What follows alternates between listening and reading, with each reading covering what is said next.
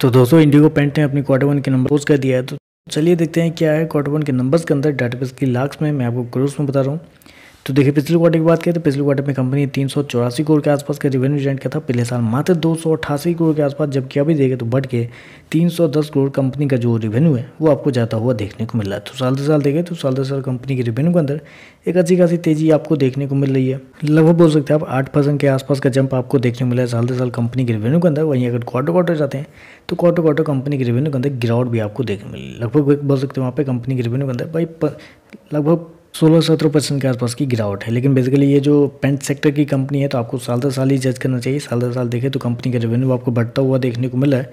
Company ने 310 करोड़ के आसपास का रेवेन्यू शो किया जबकि मार्केट का अनुमान था कि इस क्वार्टर में कंपनी का जो रेवेन्यू हुआ, वो 316 करोड़ के आसपास होगा। तो मार्केट का जितना अनुमान था, उसके आसपास या उससे थोड़ा सा कम कंपनी का जो रेवेन्यू है, वो आपको आता हुआ देखने को मिला है। खर्चे की बात कर लेते हैं, पिछले क्वार्टर में 316 करोड़ खर्च किए थे, पिछले साल दो करोड़, जबकि अभी देखें तो कंपनी खर्चे 280 करोड़ के आसपास आपको देखने को मिले तो खर्चे भी देखें तो खर्चे भी ऑन एन एवरेज इस क्वार्टर में थोड़े से हाई आपको देखने को मिल रहे और उसके पीछे का रीज़न भी है रीज़न ये भी था कि इस क्वार्टर में कंपनी के जो प्राइस है, वो थोड़े से हाइक होते हुए देखने को मिले थे। रॉ रॉ मटेरियल जो होता है, वो थोड़े से बढ़ते हुए देखने को मिले था। ऊपर से इलेक्शन था तो इलेक्शन की वजह से इनका जो सेल्स है, वो बेसिकली ज़्यादा हो नहीं पाए ऐसा सारे पेंट सेक्टर वाली कंपनी का कहना था।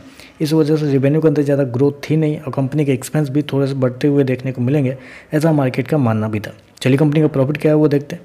तो देखिए, पिछले क्वार्टर में कंपनी चौवन करोड़ के आसपास का प्रॉफिट थी, पिछले साल इकतीस करोड़ के आसपास, अभी देखें तो गिर के साढ़े छब्बीस करोड़ के आसपास कंपनी का जो प्रॉफिट है, वो आपको जाता हुआ देखने को मिल रहा है। तो साल दर साल देखें तो साल दर साल कंपनी के प्रॉफिट के अंदर लगभग सोलह सत्रह परसेंट के आसपास की गिरावट आपको देखने को मिले जबकि क्वार्टर क्वार्टर जाते हैं तो क्वार्टर क्वार्टर कंपनी का प्रॉफिट लगभग पचास परसेंट के आसपास आपको गिरता हुआ देखने को तो कंपनी के प्रॉफिट के अंदर एक अच्छी खासी गिरावट आपको साल दर साल क्वार्टर क्वार्टर देखने को मिल रही है।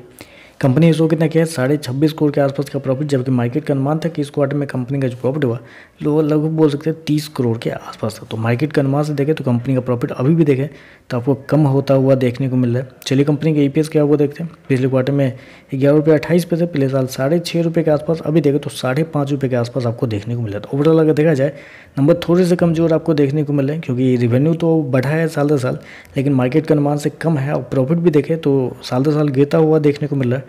और मार्केट के जितना अनुमान था, उससे कंपनी का प्रॉफिट कम देखने को मिल रहा तो ओवरऑल देखें तो थोड़े से नेगेटिव साइड पे कंपनी के नंबर जो है, वो आपको जाते हुए देखने को मिल रहे हैं। तो चलिए बस आज के लिए बस इतना है। वीडियो पसंद आए तो लाइक कीजिएगा साथ में, साथ चैनल को सब्सक्राइब जो कीजिएगा। धन्यवाद।